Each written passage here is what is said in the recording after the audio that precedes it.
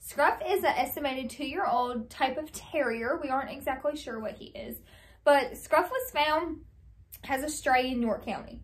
After posting him, posting him, posting him everywhere, trying to find his family, no one ever claimed him. So we got him altered and now he's with us up for adoption. Scruff has clearly had a family before because he is insanely lovable, insanely sweet. He walks um, decently on a leash. We're working on it to get it better. Um, overall, Scruff is just a smart little boy looking for some obedience training and a family to spend a lot of time with him. He's very active, would love to go on hikes, would love to go on trips, would love to have a big backyard to play in.